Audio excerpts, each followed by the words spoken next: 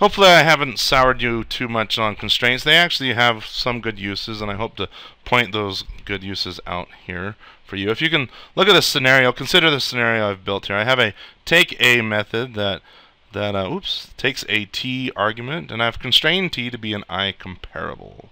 All right, let me copy and paste this, and and I'm gonna rework this this method here. And instead of saying take a t, I'm just gonna say, hey, you know what? If t's got to be an i comparable, let's put comparable as the argument, i comparable. All right, so what's the advantage of this? over this. In fact, if you ask me, this this version is a little bit more readable. I don't have to deal with all the constraint and the generic stuff. Let's just, if it has to be an I comparable, let's require an I comparable. Well, there's a couple of advantages to doing the generic version. One is we can avoid boxing when T um, is a value type. If you remember from the value type videos that when you reference a value type or try to assign a value type object to uh, upcast it to a reference, then it gets boxed and put out on the heap. Go see the value type videos if necessary. Brush up on that. Okay, so when I when I say take a, let's just go down here. I'm going to say take a. Let's take an int. I'll be explicit here and define my generic type. I'm going to say take a five. All right. Well, now t becomes int and boxing is no longer required here.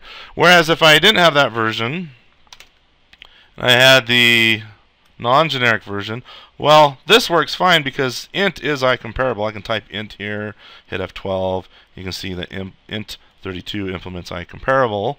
Okay, so yeah, I can say take a 5 and that goes to this, but but there's a boxing that occurs with this int um, being assigned to this arg. Okay, again, see the boxing videos if necessary. But there's also a, another advantage to having the generic version as well. Not just the being able to avoid the boxing, but also consider, let's consider this class 1 up here. Say I say where t is i comparable, and let's also add another constraint where t is i enumerable. Alright, and then let's change this back to a t. Okay, there's no way for me if I can copy and, oops, oh, it formatted it for me, how nice.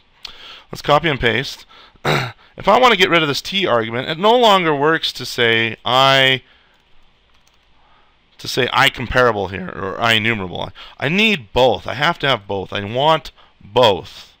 Okay, so I can't like say I comparable, I enumerable. That doesn't work. Right, I can't put a comma between them or anything.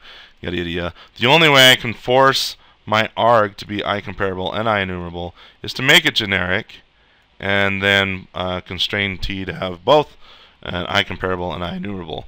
These are non-related interfaces. They don't I comparable doesn't implement I enumerable, nor does I enumerable implement I comparable.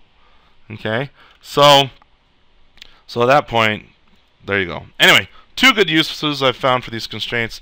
The other ones, take them or leave them. If you need them, they're there.